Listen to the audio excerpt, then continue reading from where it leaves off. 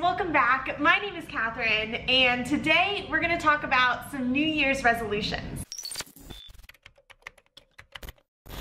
Most of the time when we talk about New Year's resolutions, they're very broad. It's eat better, work out more, maybe reading more. But what if you add some New Year's resolutions for your career? So today we're gonna talk about five different ways that you can level up your software development career in 2021. Resolution number one, commit to doing code reviews. If you don't know what a code review is, don't worry. It's just reviewing someone else's code. There are a bunch of tools, techniques in order to review other people's code well. And so this year, maybe learn about that. Learn how to do a code review. What should you be looking for in reviewing someone else's code? How much code do you review? You can check out my LinkedIn Learning course, Programming Foundations, Conducting Code Reviews. And this is a part of everyday software development once you get into the industry. If you're working on a production level product, so you have customers that will be upset if your code's not working, code reviews are often part of the practice of software development. It's something that you'll do every day or that you should be doing every day. So that's why this resolution is commit to doing code reviews.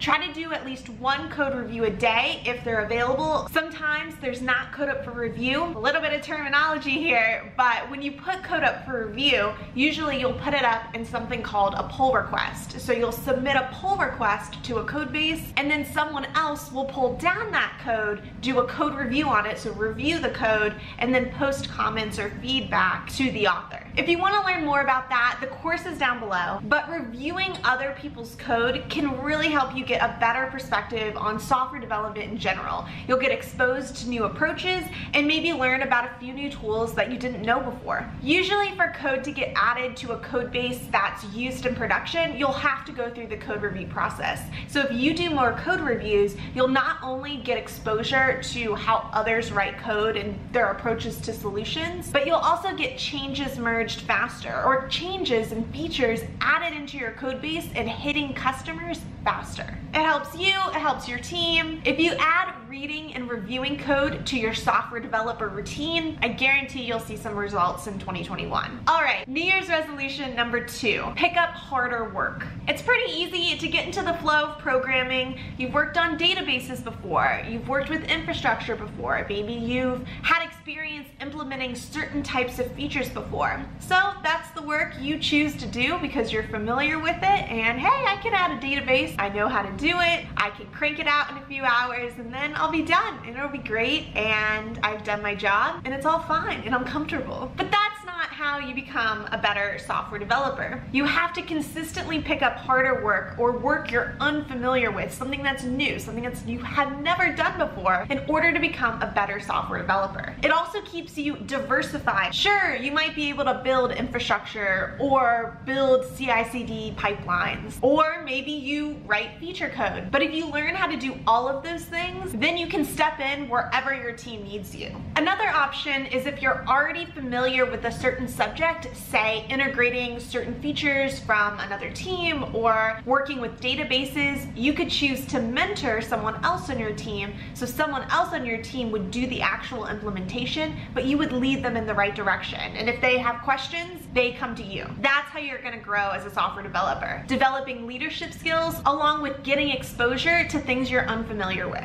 All right, resolution number three. This one's a little bit more typical and it's, you know, workout type of resolution. But set a meeting for 15 minutes or 30 minutes a day on your calendar. Put it sometime in the afternoon and make it a yoga break. This is something I've started doing in 2020. I used to use the Aaptiv app, which had audio-based yoga classes, but now I use the Peloton app and seeing someone else do the workout with me just motivates me. I don't know why. And they have 20 minute yoga classes and 30 minute yoga classes. So usually I'll try to do one of those a day.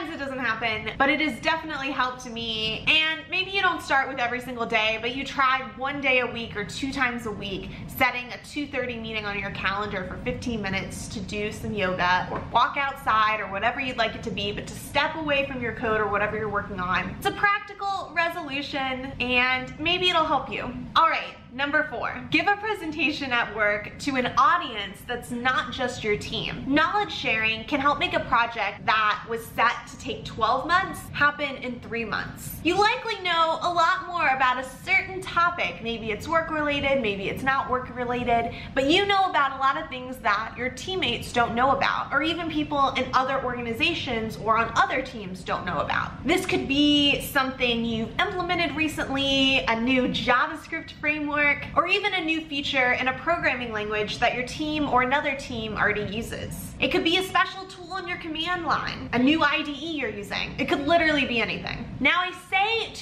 audience that's larger than your team, your team can be there, don't exclude the team, but it should be larger than your team so you increase your visibility. You see your team every day or you talk to your team every day, but do those outside of your team know who you are? Do they know what you do? Could they come to you and ask for help about a given topic? Giving presentations to larger audiences helps increase your visibility at the company. This can help you get cooler projects, get promoted, and gain respect from your peers. It could be as informal or formal as you like. Maybe your company does a conference every year. Apply to go speak at that conference. Maybe it's a simple brown bag, so a lunch meeting where you invite a couple different teams to hear about a given topic. Giving a presentation sounds scary to most developers as we're used to mainly reading code, writing code, and reviewing code. We might also be making diagrams or in other meetings, but often we're not giving the presentations unless it's a demo. And a demo does count. Volunteer to do your team's demo at the next big company meeting. It's all about increasing your visibility and getting yourself out of your comfort zone. All right, number five, learn about a new topic in software development. I'm not saying to go crazy and learn the intricacies of machine learning, but learn a little bit more about it. Maybe you're a front-end developer and you've never used Amazon Web Services. Learn about a few of the services. If you're a back-end developer, try learning React. Have you tried cybersecurity, blockchain? Maybe you're pretty technical but want to improve your management skills. Take a leadership course. One of the best places to start is with LinkedIn Learning. I teach on LinkedIn Learning. I have courses on Python, code reviews, infrastructure, debugging, Java, C Sharp, lots of good courses up there. And the Java course, Learning Java, is actually free right now. And it will probably be free for a while. So I suggest you bookmark some of the courses. Maybe they're my courses or they're someone else's, but bookmark a few and try to do at least one a quarter. Most of the courses are an hour to two hours long. Some of them are a little bit longer, but if you can dedicate 30 minutes a week to learning a new topic and maybe 30 more minutes to practice with that new topic, you'll be surprised what you learn. So those are your software development New Year's resolutions. Commit to doing more code reviews or learn about them. Pick up harder work consistently. Set up a 15 minute meeting on your calendar for yoga or walking outside. Give a presentation at work to an audience that's not just your team and learn about a new topic in software development. Maybe you do all five of these. Maybe you do one of them. We're also hopeful at the beginning of a new year, so pick one, stick with it for a month, and if you find results, keep with it. All right, that's it for today. Thank you so much for watching, and I hope you have a happy new year.